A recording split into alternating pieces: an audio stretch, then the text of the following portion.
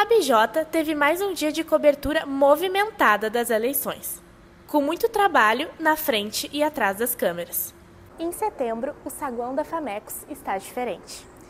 O LabJ está organizando uma série de entrevistas com os candidatos à Prefeitura de Porto Alegre. Estamos com César Pontes, do PCO. Em sua entrevista, o candidato defendeu a educação pública e criticou as creches conveniadas. A, a gente entende que a, que, a, que a, educação privada, esses grupos que dominam é, nessa área, eles, têm um, eles não têm interesse em que a, em que a educação pública seja de, de boa qualidade. Para eles, quanto mais sucateada for a nossa educação, melhor, porque eles vão ganhar mais com isso. Né? Apesar de não mencionar nada sobre cultura em seu plano de governo, César Pontes falou sobre a importância da arte na sociedade.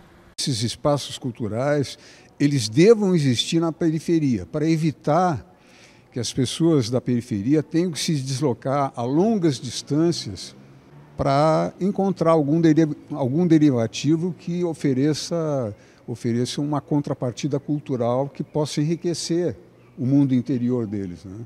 possa enriquecer os conhecimentos. A entrevista durou 20 minutos. Diferentemente dos outros candidatos, César Pontes participou do encontro sem assessores. Chegou e foi embora usando transporte público.